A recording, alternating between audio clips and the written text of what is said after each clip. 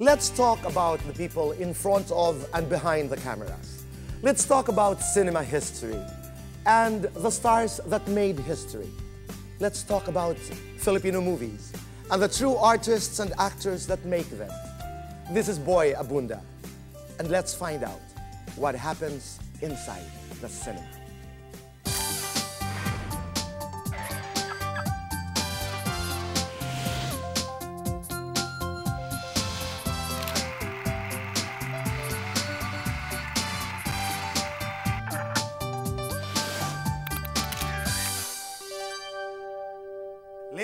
Gentlemen, may I present to you with pride, respect, and honor the Queen herself, Miss Susan Rosas. Hi, boy. Maraming salamat po. Maraming salamat din sa inyo. Thank you, thank you. Welcome to the Dolphy Theater and welcome to Inside the Cinema. Thank you. Nung dumalaw po dito si Tito Dolphy, sinabi ko po sa kanya na ang unang pelikulang aking napanood ay inyong pelikula. Hindi ko lamang po maalala kung ano yung titulo, pero naalala ko na ako'y nasa loob ng sinihan, pinapauwi na ako ng nanay dahil ayokong umalis. But the first movie I saw was that movie that starred you and Tito Dolphy. And somehow, when I look back, I say that my journey in the entertainment field essentially started with that movie. Thank you. Thank you. Maraming salamat, Tita Susan. Maraming salamat Kasi marami ho kayong pelikulang ginawa yata ni Tito Dolphy, ano? ah, yes, marami. Both when, while I was uh, in Sampaguita as a contract star, and then when I freelanced and he produced again. Right. Now let's talk about movies, Tita Susan. 1997 and 2003. Mga kaibigan, um, over 120 films in a span of 57 years. Doesn't that deserve the biggest round of applause? But in the past 12 years, Tita Susan, dalawang pelikula lamang po ang iyong ginawa. Pag-usapan ho natin yung isa, 2003. Mano po? To My Home. After being absent from the movies for quite some time, uh, Mother Lily offered this, and I saw the Mano Po 1, which I find very interesting. Malapit sa akin ang kultura ng mga Chinese.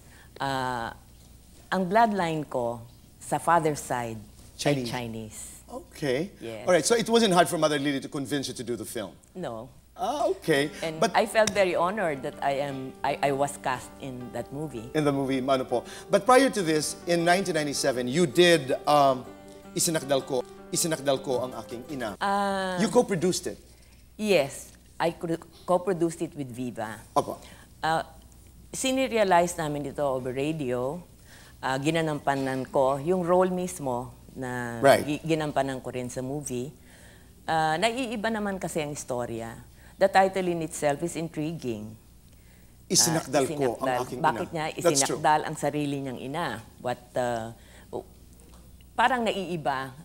Pati yung role doon ay naiiba. And th- those were the reasons why you made the films. Nung ginawa niyo po ang Mano at saka yung Isinakdal, ano po yung nakita niyo? Ah, any experiences po, mga pagbabago sa paggawa ng pelikula na inyong napansin? Hindi ho ba kayo nanibago? Unforgettable experiences while doing the films?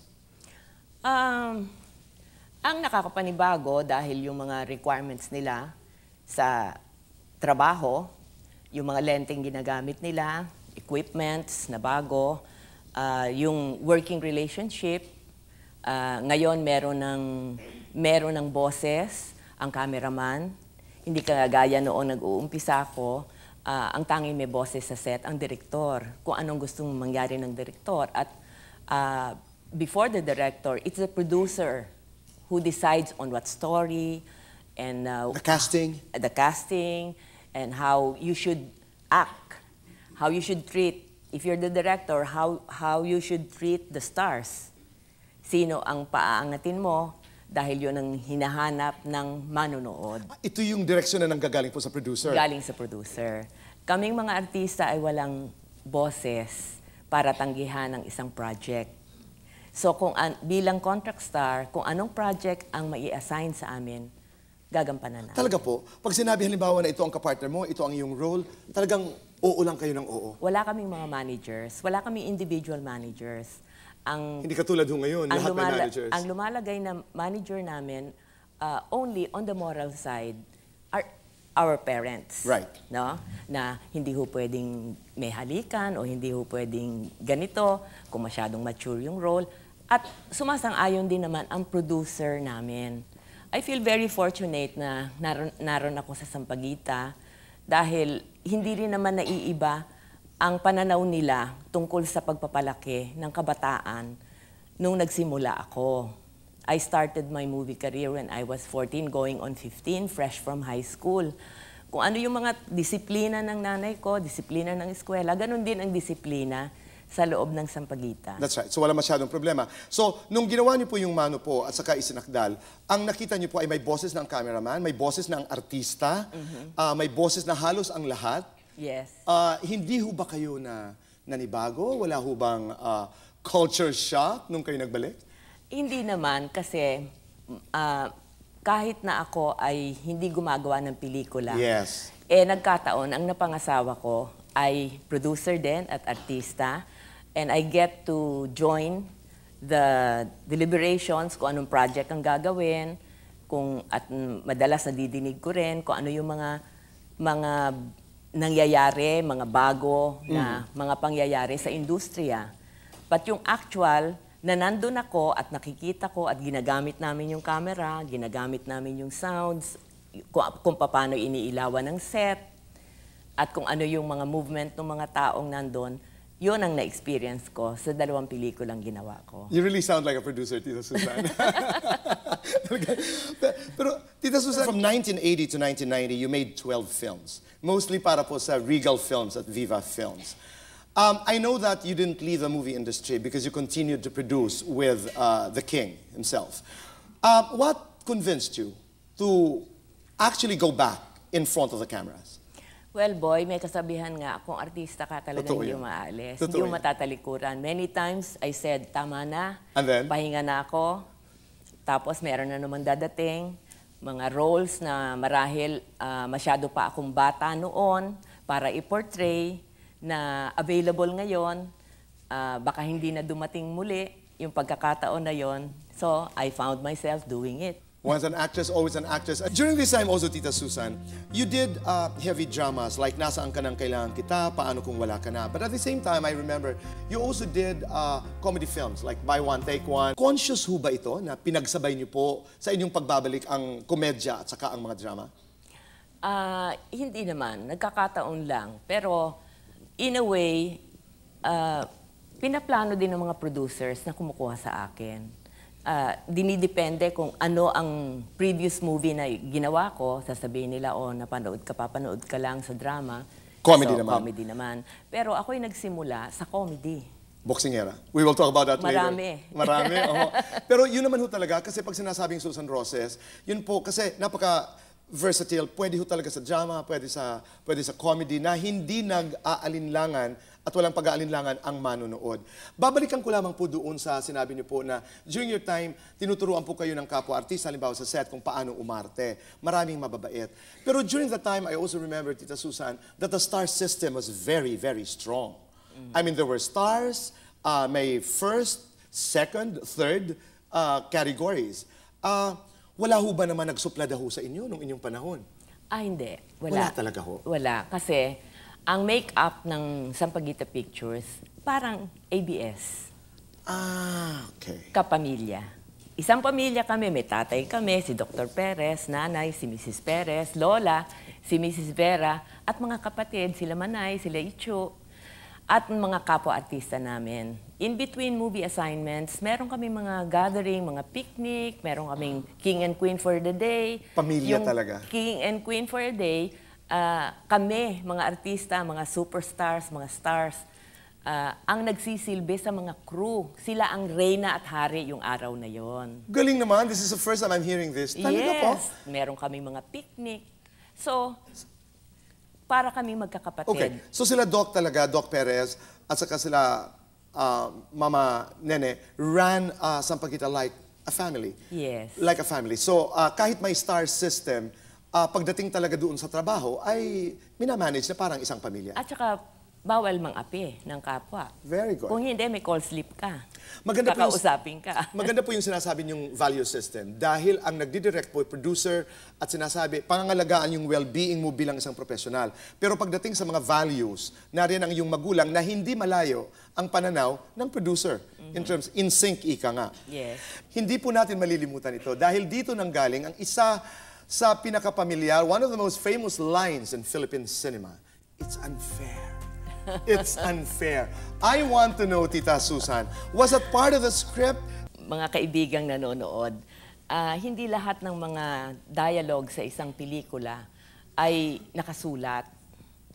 Ah, yung particular na insidente na yon, katulad din ng mga pangyayari sa mga ibang fellow actors ko, ah, binigyan kami ng karapatan ng direktor at ng writer na how will you articulate this? Paano mo sasabihin? Anong sasabihin mo kung nandiyan ka sa sitwasyon na yan? So sabi ko, hindi naman ako masatsat na tao by nature. Ah, hindi naman siguro ako magmumura doon sa sitwasyon na yon. So I gathered my thoughts and all I could say, it's unfair. Kasi yung role na pinortray ko doon, role ng isang babae na who wanted to make, uh, to perfect herself, to be, uh, to hold on to a marriage. So para sa kanya, ginawa niya ng lahat, ibinigay niya ng lahat, nagsakripisyo siya para lang sa ikabubuo ng pamilya. And yet, iniwanan siya ng asawa niya. Pagbukas niya nung closet. And you said the line. It's unfair!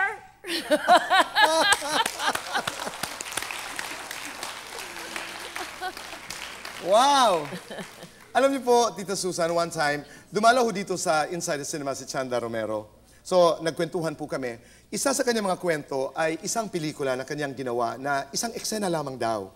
And this particular scene was with you and Charo Santos, our beloved president of ABS-CBN. Ito po ang pelikulang Paano Kung Wala Ka Na. Um, it was a poignant uh, eksena po para kay Chanda.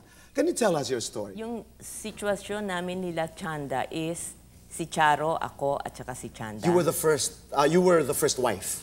Hindi ko alam kung paano dumating sa buhay ni Eddie Gutierrez Yes. si Chanda. That's unknown to me until that scene happened. But you knew of Charo. I knew of Charo. So, Okay. All the while pala na ang feeling ko eh, parang, parang inapi ako, inisahan ako, yung pala, meron palang isang babae na iniwanan.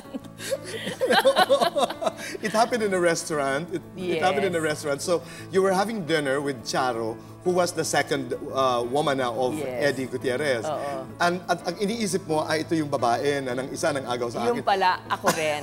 Chanding sa amin na uh, she could not forget that movie because bihira siya gumawa ng pelikula na isang eksena. Mm. But if she were to remember, if she were to be remembered uh, because of one film na isang eksena, yun daw talagang hindi niya malilimutan. Yun, maka, talagang totoong tao, totoo yung istorya.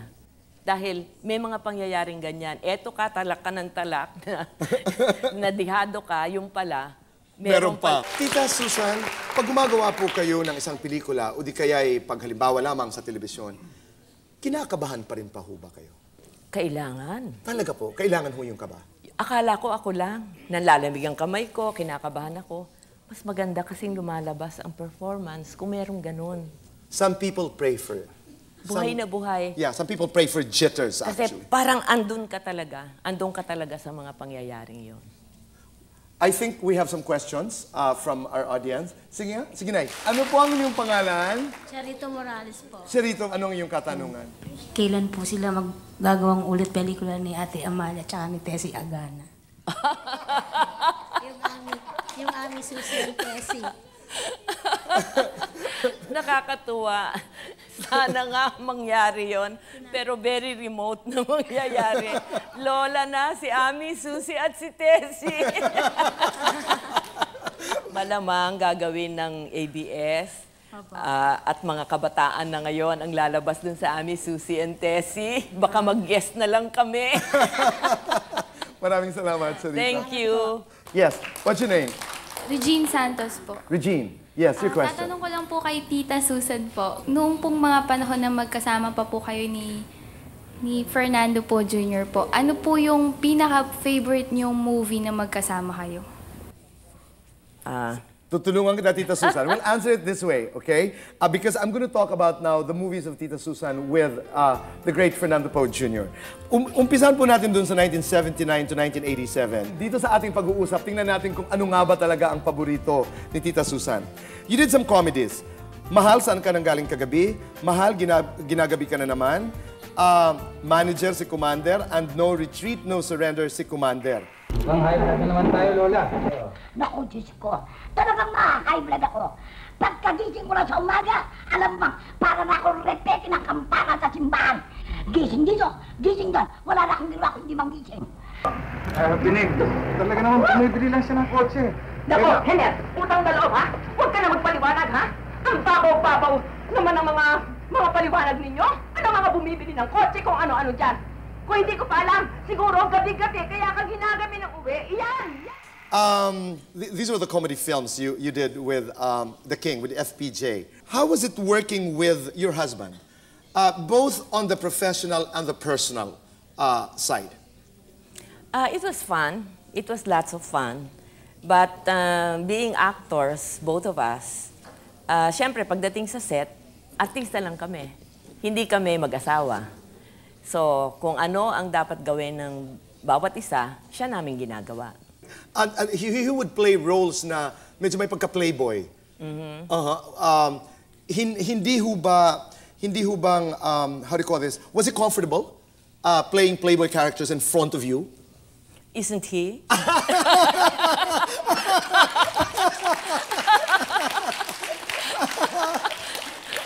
Hindi naman siya nata kailangan umarte.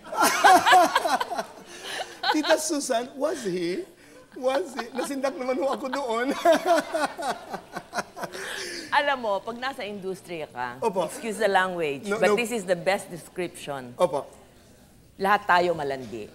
I love that. Totoo- no, no, no. Totoo ho yun. Pag nasa camera ka, pag nasa uh, entertainment world ka, kailangan marunong kang maging malandi. Lalo na sa harap ng camera, bahagi ng trabaho. I Kailangan marunong ka mag-flirt sa crowd, Yes. marunong ka mag-flirt na parang very intimate, Right. dahil sa leading lady mo o leading man mo, na para bang siya na lang ang tanging nasa puso mo at isip mo. Otherwise, how will you project a romantic scene? It, during our time, it was not necessary to have a kissing scene. Uh, we can express with our eyes Right. we can express with our touch. Uh, there were many ways of showing, and that was partly flirting. Okay. I'll, I'll, I'll, I'll follow that up.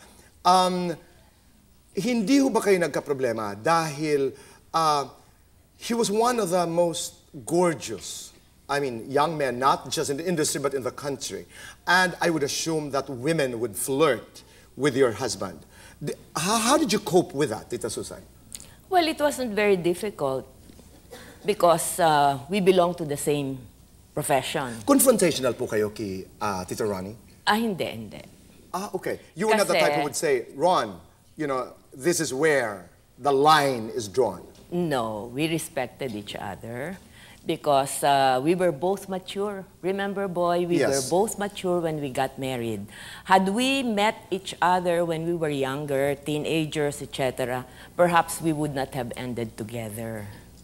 Kasi strong ang personality niya, strong ang personality ko, uh, maaring mag-clash. Uh, but having been in the industry for quite some time, uh, before we got married, we understood the needs of our Right. profession. Sa lahat ng iyong mga naging leading men, kanino siya nagselos? Wala. Sa lahat ng kanyang mga leading women, kanino ho kayo nagselos? Marami.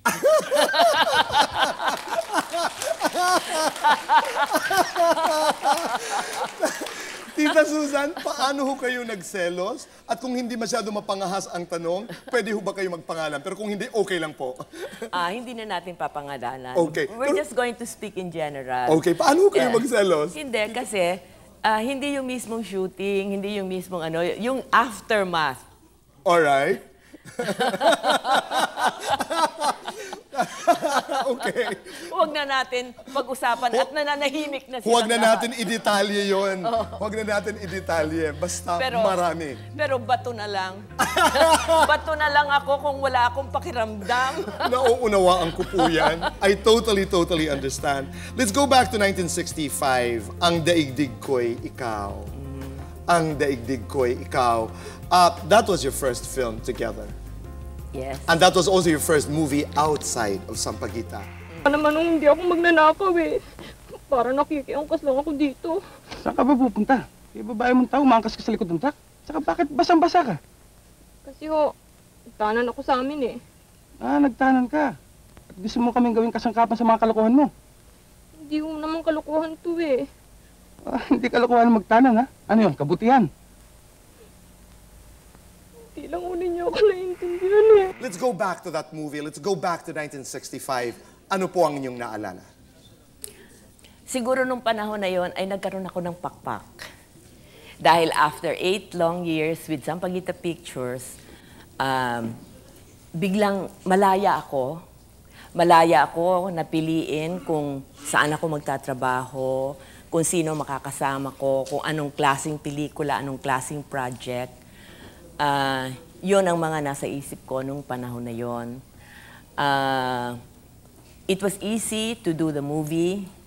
It was the getting to know you stage, not only uh, As between actors, Ronnie and yes, me, but as people. but uh, as well as what is the outside world. We were so um, sheltered inside the Sampaguita Studios.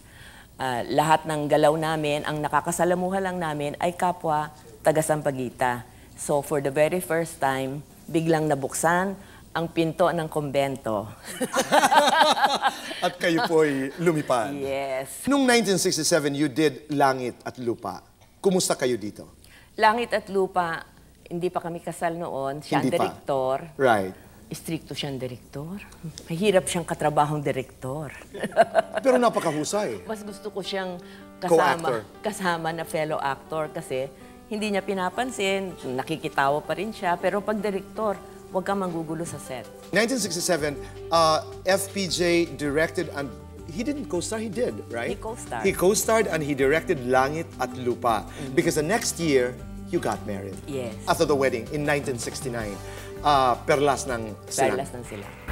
Mahal na Dayang, kung ang aking ginawa hindi marapat, tatanggapin ko anumang kaparusahan.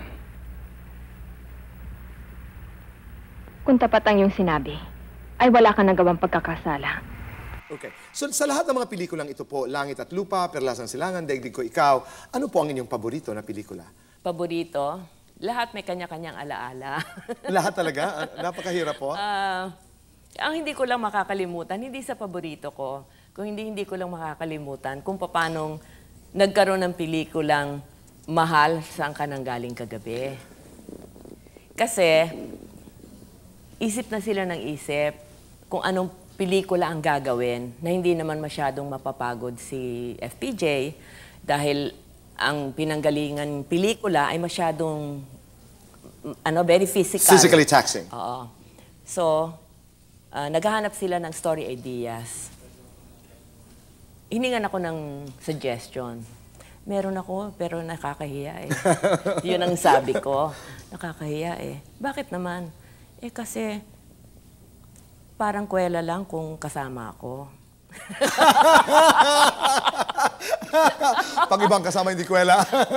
Oo, kasi hindi tutugma doon sa, ano, it was a popular song. sa konsepto, yes. It was a popular song by Imelda Papin. And oftentimes I would hear it uh, as I would be driving somewhere. Mahal, saan ka nang galing kagabi? Tapos, ang sabi ko pa, Nako, magtatanong-tanong ka pa, hindi ka naman sasagutin niya. Pero masyado ako nag-i-emote doon sa kanta na yon.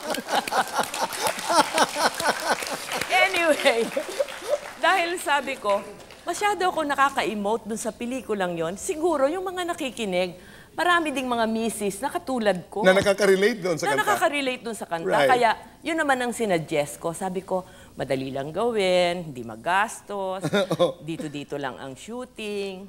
ah, walang masyadong puyatan at nakakatawa. O ano yon? Mahal saan ka nang galing kagabi? I-comedy natin. yon. Ganda. Ganda. And now we understand why it's most memorable. Mahal, saan ka nang galing kagabi? Mga nanay, yan ang inyong it- itanong. Ay, Pero walang nako. kasagutan. Ay nako, wag nang magtanong. Para hindi kayo Ah. ma-disappoint. the, the best marriage advice na nakuha ko ay kay Aling Chichay. Which is, Huwag kang magtatanong na mahal saan ka nang galing kagabi. Ang itatanong mo daw una, kumain ka na ba? that's true. No, really, no?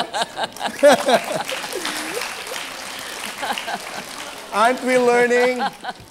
Let's talk about the acting vehicles and the horror movies. Dito na pumapasok, Tita Susan, yung Maruha, for example. Uh, how did it come about? And um, did you feel that with uh, Maruha, parang uh, you were recognized as a brilliant actress? Dalawa ang maruha. Yes. Ang isa, yung ginawa ko sa Leia, it's a- it was a romantic movie. Ito yung uh, It was inspired from Wuthering Heights and Romeo and Juliet. Ah, gumising. nagkaroon ng sequel later on when I was more mature, naging Gumising Ka, Maruha. I'm hearing it for the first time, huh? So there were Yes. two. Okay. Yung, yung original na Maruha was authored by Mars Ravelo. All right. And it was serialized in the comics. I think in collaboration, later on, I found out in collaboration with uh, itong kilala nating writer, si Carlo. Jay Caparas. Oo, he remembers doing that along with Mars. Anyway, uh, yun ang pangatlong pelikula ko after I left Sampaguita Pictures. It was in costume, in full costume. Ang setting, Spanish Times. Okay. At um, it was more of a romantic movie. All right. But uh, it was a serious romance. Hindi katulad nung previous pictures ko na ginawa ko uh, over eight years of Sampaguita na very light ang subject. Comedy light, romantic. Yes. Ito nagkaroon pa ng reincarnation eh. Okay. Na uh, part of it was portrayed also by Loris. And I had to portray two characters there. Yung nung Spanish times at saka nung present, Present, time na. right. Oo. Nung nag-reincarnate na si Maruha. Kaya nung ginawa yung gumising ka Maruha, hindi na pwede pang mag-reincarnate si Maruha. Ang pina-reincarnate nila, yung role naman na pinortray ni Eddie Garcia na si si Philip Salvador ang gumanap. Now I understand. Okay. What, what did Maruha do to you as an actress? Sa wakas. Sa wakas, ano? Sa wakas, ah, magkasama tayong dalawa sa isang silid.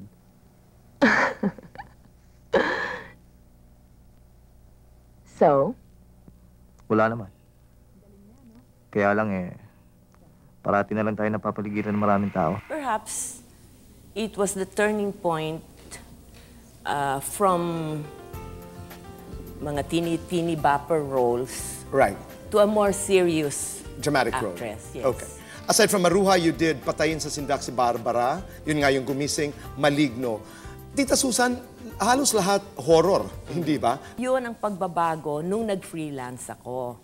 Ngayon, way past na rin para sa edad ko na magkaroon pa ng romantic lead. Dahil may asawa na rin ako noon. I was very much married. Uh, I don't think it would be interesting uh, to uh, for the to draw the crowds in the theater na dahil meron akong kalab team. 1978 and 1979, Tita Susan, you achieved a rare feat for any actress locally and internationally. Dahil po you won back-to-back Best Actress trophies from the FAMAS, uh, mula po sa Maligno, which is directed by uh, Celso Ad Castillo and Lino Brocas, Gumising Kamaruha. Yes. Congratulations. Thank I mean, you. Yes, we have some questions. Yes. What's your name? Um, yeah. Diyosa po. Josa. Isa kang Josa. Isang Diyosa! And Josa, your question. Saang bahagi po ng buhay nyo, nasabi nyo na po yung, word, na, yung pong linya na it's unfair? Pang SNN yan. Ibabalik ko sana ang tanong. Ikaw, Josa, nasabi mo na ba yan? Hindi pa raw niya nasasabi. Well, hindi na tayo magpapaka-plastic. Siyempre, sa buhay mag-asawa, may mga pangyayari na nafe-feel mo, you've given 100% in, at tapos ang, ang mga pangyayari ay ah, not to your favor. Right. So, yung mga pagkakataon na yon, I would say it's unfair. It happens to all of us. It happens to all of us. Tita Susan, I'll uh, mention some movies. Just give me one line about these movies. In 1968, To Susan with Love. Mhm. To Susan with Love, that is uh, based on a radio uh, show I did. Parang may advice portion. Tap, parang maalaala mo kaya? Ah, okay. Ah, na meron kaming ginagawang storya na tumatakbo ng isang linggo. So, ano yan? Apat na storya sa isang pelikula. At ah, iba-iba ang leading man ko dyan. Isa si FPJ, isa si Joseph Estrada, Romeo Vasquez. Ah, basta apat yung leading man ko. And I think that was the last movie I did with FPJ before we got married. Yes. Portrait of My Love. Portrait of My Love, that was fun. It was done in Sampaguita with Eddie Gutierrez. It was a romantic movie. Okay. Dansorama. Robert is my name. What's yours? Sorry. Dansorama is a very um, much remembered movie. And it caters even to the present generation. Hindi ko alam kung anong meron yung pelikulang yon. Pero yung, yung kasing programa na yon, it, is a, it was based from a television show. Right. And which was hosted by the late uh, um, Pete Roa, uh, Baby, Baby O'Brien, O'Brien. and then eventually si Boots Anson. Uh, gustong-gusto nila yung pelikula. Nakaka-relate sila siguro kahit anong henerasyon, pwede pang gawin uli ngayon. Oo. Were you more of a dancer or a singer? Neither. As I told you, boy, world of make-believe. Pero Tita Susan, you Kaya can, make-believe. Tita Susan, you can carry a tune kanina nga when you were singing. No, really, but was that part of your training during your time that you were taught how to dance and to sing? Kasi nakakakanta ho kayo eh. We were not taught how to sing. Oh, okay. Ah, nagamit na yata namin lahat ang plaka. wala wala pang ano non intellectual in- intellectual property, Property. rights. So, ah, kuminsan ang boses ko Doris Day, kuminsan Joe Stafford. Iba-iba po yung mga Iba-iba. boses. Pero nagli-lip sync madalas later on when we became conscious na uy binabayaran pala 'yon. Okay. Oh, ah, Karina Afable would sing for me, baby Guzman would sing for me. Ah, sayang kasi sarado yung bibig ko nung nagkalat ang Panginoong Diyos ng boses. Nasa huli ho tayo. Kaya nga ingit na ingit ako sa kanila. Ngayon, nakakakanta ang mga artista natin. That's true. Susanang Daldal. What do you remember about the film? Ah, that was a challenge. Why? Kasi Susanang Daldal, kailangan mabilis na mabilis yung salita ko doon. At saka maraming mga linya. At saka marami kaming ginawang dance numbers doon. Split frame pa. Oh, okay. Yes. Ah, it was uh, Very challenging. very challenging, very memorable for me dahil naiiba naman yung role. 1962, you did a big broadcast. Siguro luka-luka ka. Sino luka-luka? Baka ikaw ang naluloko dyan, ah!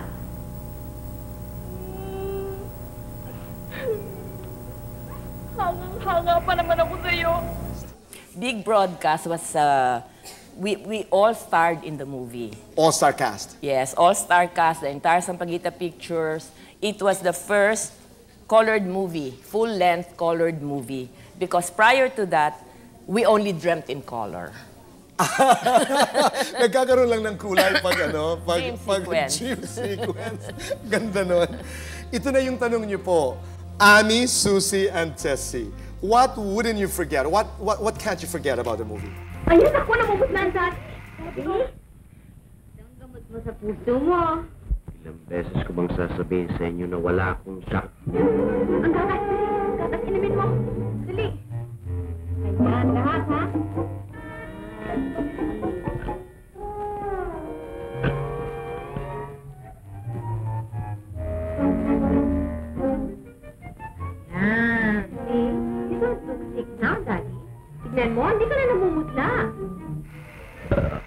Well, as a child, I was a great fan of Roberta. Very much of Tessie Agana. All the Tessie Agana movies I would watch. So it was uh, exciting uh, when we were told that we were going to do a movie with Tessie Agana as a teenager now. So uh, it was a lot of fun doing uh, Ami, Susi and Tessie, and very entertaining. Very, very entertaining. Let's talk about the 50s. In 1952 po, you did uh, Between ng Kinabukasan. Yes. How old were you then, Tita Susan? I must have been eight. Yeah, very, very Yes. young. Uh, how, how did you uh, how did you get into the movie? Did you audition? Uh, Um, because of Tessie Agana, Okay. lahat ng mga bata na katulad ko, nangarap na maging Tessie Agana. In fact, hindi lang yon. Ah, I remember, nag-line up din kami para mag-screen test para sa Darna. oh, okay. Yes. Nakita ko yung tatay ni FPJ na ang taas-taas na tao. Siguro dahil napakaliit ko. Ang kapatid ko ang gustong mag, mag-audition para doon. Pero hindi na kami inabot dahil napakahaba ng linya. Ah, sa mga sumunod na pangyayari, naghahanap naman sila ng mga artista, nagagawing artista nila sa Nepomuceno Productions. Kaya ako napasama dyan sa Between ng Kinabukasan Okay. In along with uh, Mila Ocampo, the mother of Snooki. Snooki, and Ike Losada. All right. Uh, parang yung ginagawa nila ngayon dito sa show natin sa ABS, na yung mga bata portrays the role of grown-ups. That's right. Oo. Okay. Uh, 1956, boksingera daw. Tell us a story and tell us a story in relations to Miss Tilapia. Kasi may kwento dito eh, Yes. ang uh, boksingera.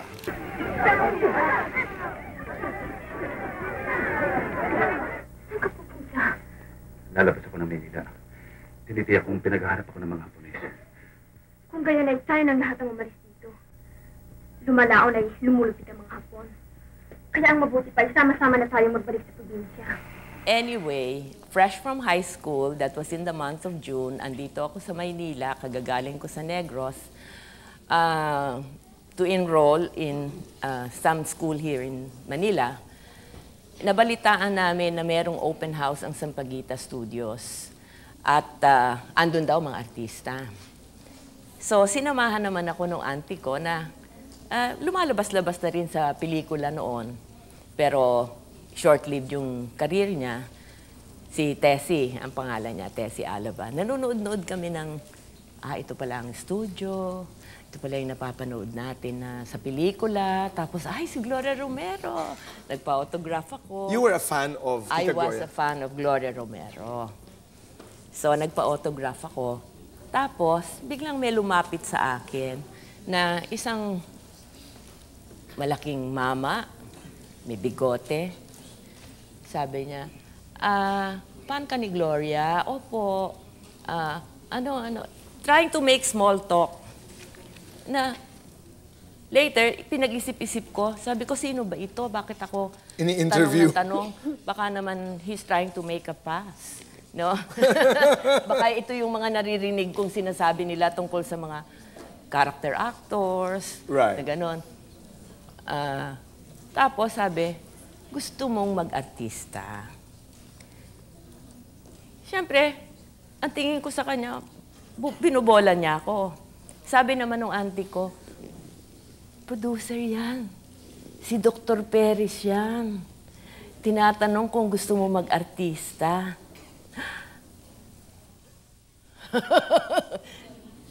Sabi ko, o sumagot ka, gusto mo ba mag-artista? Eh talaga namang mahilig akong mag-artista. At ang iyong sagot Dahil po? pala, panay ang labas ko sa aming eskwelahan sa stage. Sabi ko, opo. And besides, you wanted to be Tessie Agana. Pumunta ka sa ano, address nila, sa bahay nila, at mag-screen test ka bukas. So pumunta naman kami, nag, ah, nagintay kami alas 7, tulog pa yata lahat dun sa bahay na yon. Merong lumabas na ale na naka-duster, na napapanood ko naman, ay si Aling Aring Bautista. Sabi niya, oh, anong may kailangan kayo? Ay, alas 7 ng umaga, napakaaga naman para maging bisita, no? Kasama ko yung uncle ko naman, kapatid ng nanay ko. Ah, eh, mag screen test ho siya. Pinapunta siya dito. Ang tingin sa akin ni Aling Aring from head to toe. Ay naku, marami ng artista dito. Kapipirma lang nga ni Mr. and Miss Number One. At saka, meron na kaming Audrey Hepburn. Okay. Referring to Amalia and Gloria and and Barbara. Iha, doon ka na lang sa LBN. Pumunta. Kulang pa sila ng artista doon. Eh di, hindi lang ako kumibo. No? Tama-tama, umalis naman siya. Wala naman siyang masamang ibig sabihin. Friendly advice niya yun. Correct.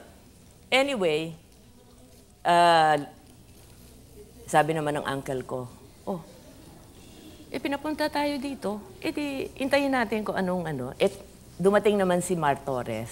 Ah, kayo ba yung mag screen test? Tayo na. At ah, sumabay na kayo sa akin sa sasakyan. So, later on, I found out, pagbaba ni Dr. Perez, palinga-linga siya, tinanong kay Aling Aring, ah, meron ba nagpunta dito? Sabi naman ni Aling Aring, ay oo, pero sabi ko, marami na tayong artista. Punta na lang sa LBN. yung pala, pinagalitan siya. At Dr. Perez had something else in mind. Oh, balik naman tayo sa screen test. Malayo. Kasi ang set pala, dun sa Rodora. Meron silang ginagawang pelikula, Rodora, si Mar Torres ang direktor. So, dun ako mag screen test. Naku, ang setting bahay kubo. Una, kunyari nagtitelepono ako, para lang madinig yung boses ko. Eh, Yung pala ang dating ng boses ko masyadong manipis. okay. Matini- matinis. Alright. Later, pinagbihis ako. Kunyari, nasa ilalim naman daw ako ng puno. No? Yung mga maalaala mo type. Ang nahila nilang maging ka-romantic lead ko, si Ben Medina. Yung matandang artista namin. Pagkatapos noon, the final scene, the challenging scene sa loob ng Bahay Kubo. Ang ka-eksena ko ay si Martin Marfil. Martin Marfil, doon sa mga hindi nakakaalam, Dakilang kontrabida. siya ay maskulado, maitim, siya ay maraming mga ano pinanggalingan ng tagyawat, eh, yung ano yung um, chicken pox. Yes. Oo. So, malaki ang boses, ang lalaki ng mga ipin. Tapos, sabi nung direktor, ah, hindi ho pwedeng maraming tao dito sa kwarto kasi maliit lang yung set. So, yung camera nasa labas ng pinto. Eh, yung uncle ko, kinailangan lumabas. Naku, hindi na ako kailangan boy umarte. Takot na takot talaga ho kayo. Lalapit pa lang siya sa akin. Nagsisisigaw ako. Kumontik nang pumasok sa eksena yung uncle ko. Kaya, naku, ang galing ko daw. ang galing ko daw na artista. Maraming salamat, Very Martin Marfil. realistic. Oh. so, ano balitaan yon? Pinag-usapan yon doon sa studio. Sabi, ah, ite-testing natin. Paartihin natin ang boksingera role. Kasi hindi unknown to me, meron pala silang nilaunch na ah, in search of who will portray the role of boksingera because that was tailor-made For by Alicia. Mars Ravelo for Alicia Berhel. Right. But unfortunately, her contract expired.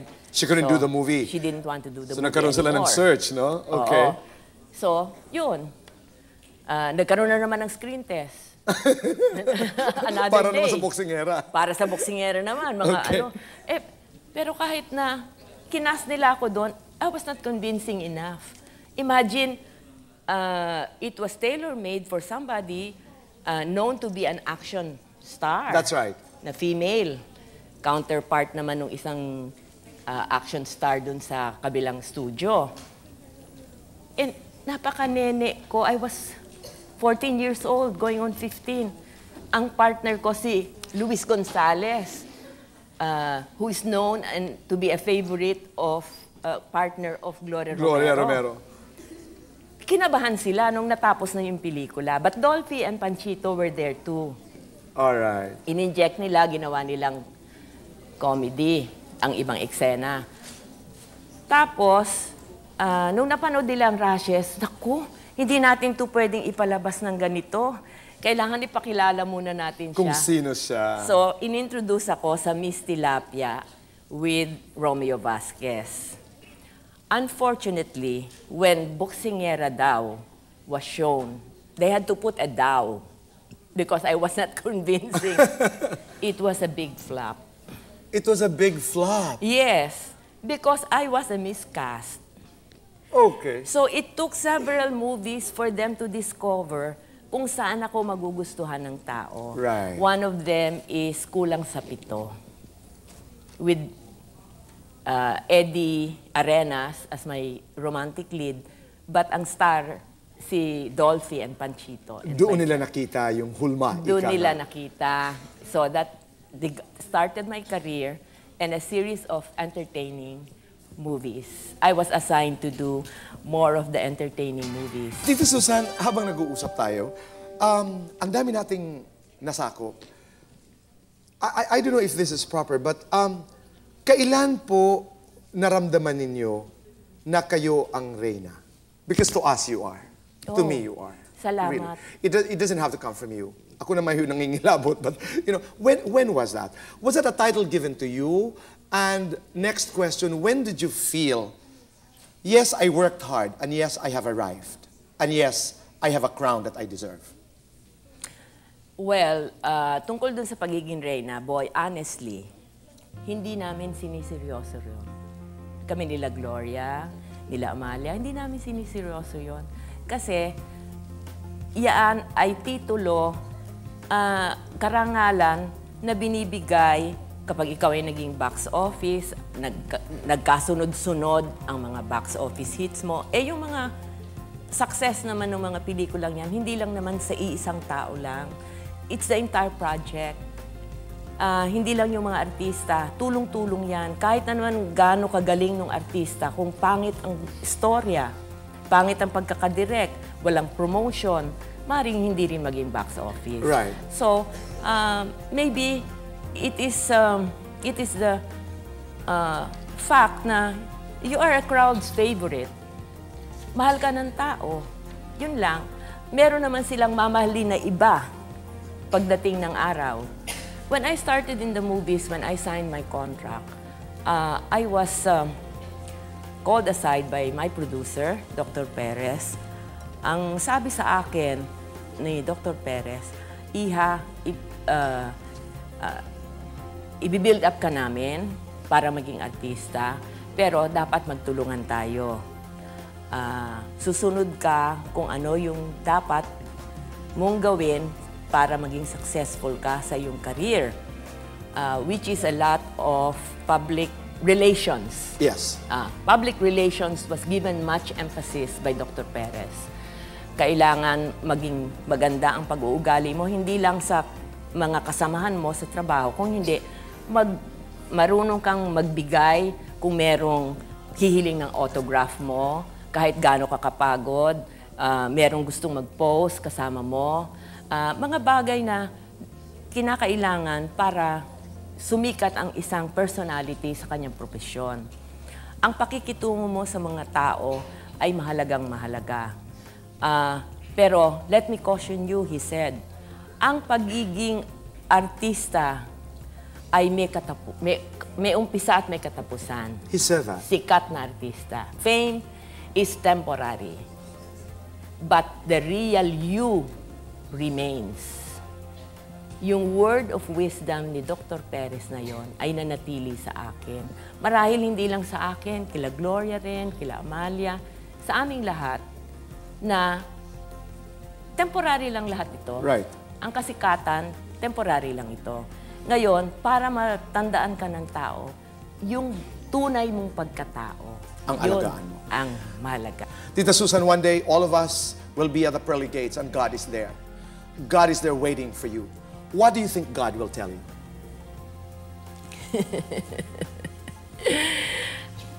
I hope he will say, you did your job well. I'm sure He will. I'm sure He will. Tita Susan, maraming maraming salamat. Maraming maraming salamat. Maraming salamat. Ah, nagbalik alaala tayo ng pabaliktad. Bilang huling ah, salita, sinasabi ko po ito kay, ay, kay Manay Itsumaseda. Sinasabi kong, ah, kasi alam nila na ako'y tagahanga ni Nora Honor. Sabi ko, Manay, ah, long before Ate Guy, I was, will always be, a Susan Ross's fan. Oo. Maraming salamat. Totoo po yan. Maraming salamat. Salamat. Boy. Mabuhay po kayo. Mabuhay ka rin. At tagahanga mo rin ako. Maraming salamat po, Tita Susan. Thank you. And to you out there, thank you for taking this journey with me. I am Boy Abunda, and I will see you again inside the cinema.